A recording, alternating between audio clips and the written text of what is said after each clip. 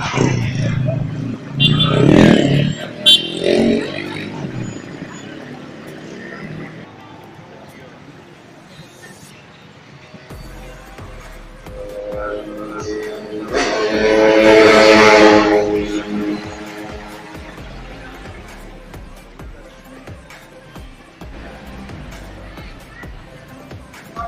on.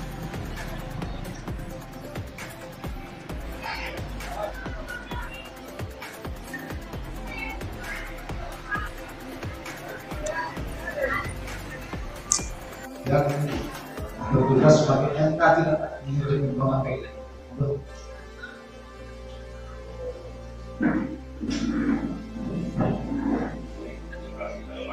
Assalamualaikum warahmatullahi wabarakatuh. Eh, kira-kira demo yang dilakukan oleh masyarakat ini terkait apa Pak?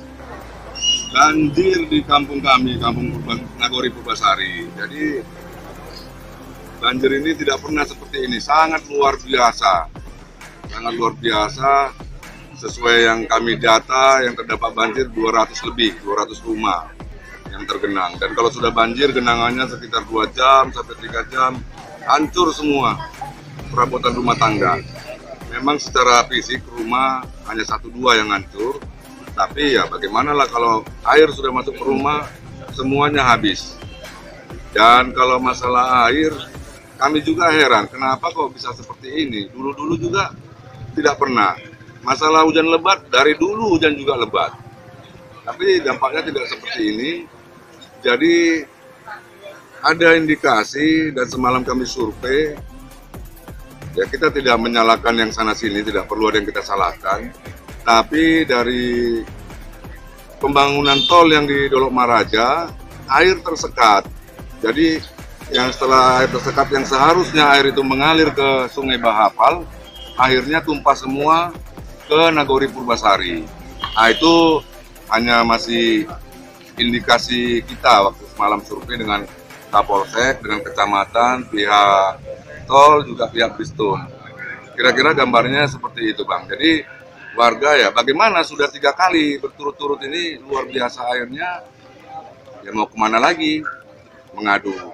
Di desa sudah mengadu ke saya, ya kita sekarang ke kecamatan minta pertanggungjawaban lah dari pemerintah, dari pihak-pihak terkait, bagaimana solusinya.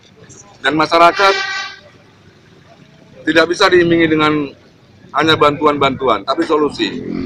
Kalau bantuan-bantuan aja selama ini pun makannya kami semua.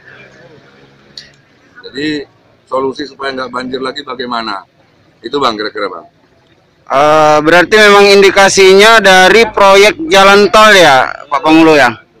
Itu sepertinya itu karena kita tengok dari sana aliran airnya gara-gara tersekat jadi tidak bisa pecah ke arah yang lain arahnya jadi ke kampung kami buangan air itu Kalau sampai dengan sekarang Pak, itu kan sudah terjadi tiga kali atau empat kali ya Pak ya. Ah, bisa tidak ditaksir kerugian masyarakat eh, terkait banjir itu Pak? Semalam sudah kami kalkulasi secara kasar dari 200-an kepala keluarga. Itu taksir bang, perabotannya yang hancur-hancur gitu. Jadi kalau untuk itu kami semalam bikin untuk ke BNPB sekitar 250 juta. Dan infrastruktur hancur total, terkupas semuanya, infrastruktur hancur total. Kalau kerugiannya mungkin bisa mencapai 1,5 M. Gitu. Artinya apabila ini dibiarkan tidak hanya perabotan ya Pak, bahkan mungkin rumah bisa runtuh ya Pak. Bisa ya. Dan beberapa rumah sudah jebol. Nah.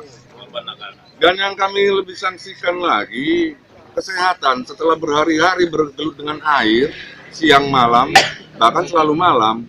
Jadi kesehatan otomatis saya yakin tidak dengan waktu lama lagi kalau terulang lagi bisa jatuh sakit semua. Secara fisik pasti lemah. Secara psikologis sudah hancur kami. Mental sudah rusak semua kami. Kalau dari pantauan Pak Pangulu sendiri, untuk di Tapian Dolo ini ada berapa titik Pak yang kira-kira eh, sangat sangat krusial posisinya di banjir? Ah, saya kurang tahu pasti ya kalau tapian dolo. Tapi yang jelas Purbasari luar biasa.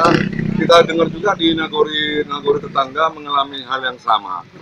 Ada kabar dari posting-posting di medsos, tetangga seperti Sinasa, Dolo Maraja juga terdampak yang luar biasa juga. Oke, makasih Pak Pangulo.